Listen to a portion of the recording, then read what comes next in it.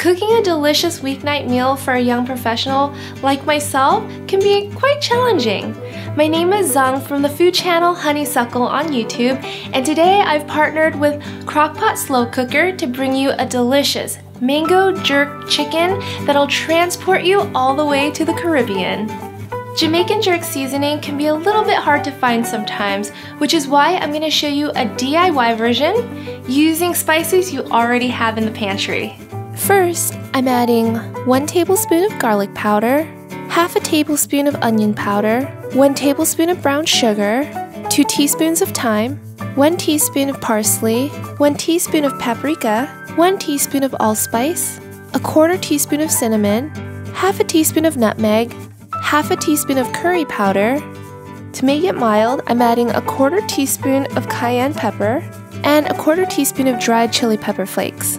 To cornucopia of spices. Give it a good mix. Mix, mix, mix.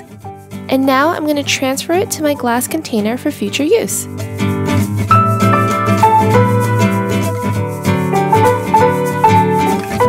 I'll dice up a small red onion, slice up one whole red bell pepper, and cut up a mango into chunks. I'm using a mango that's not quite ripe and it's still firm so that it holds up during the cooking process. If you can't find fresh mangoes in your area, feel free to substitute with frozen mango chunks or you can even use pineapples for this and it'll be delicious. Now here's my crock pot slow cooker. I'll place four chicken breasts directly into the slow cooker pot, sprinkle over some salt and pepper to taste, and 2 teaspoons of my homemade Jamaican jerk seasoning. I'll add in 3 tablespoons of chicken broth, 1 cup of my diced red onions, 1 cup of my sliced bell peppers, and my mango chunks. I'm going to tear in a little bit of cilantro for some extra flavor and color. Cover and set it for 5 hours on low heat. Once the chicken's done cooking, you'll notice that it's expelled a lot of liquid. So I like to make a slurry and turn it into a yummy sauce. I'll take 1 tablespoon of cornstarch, add a quarter cup of cold water, give it a good mix, and then I'll pour it into my crock-pot slow cooker. This will help the sauce thicken up. I'll cover it up and let the sauce thicken for 30 minutes on high. Mmm, doesn't that look so good?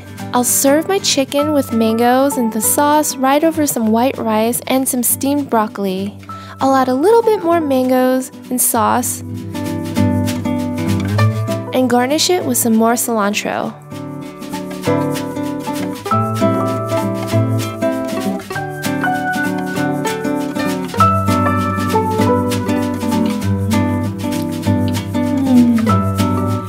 Chicken is perfectly cooked and the spices give it this Caribbean kick. The mangoes still hold their texture, it has this little bit of a tanginess to it too. It's delicious. You guys have to try this recipe. The Crock-Pot Slow Cooker is the best way for me to have a hot, delicious, and yummy meal ready for me when I get home from work.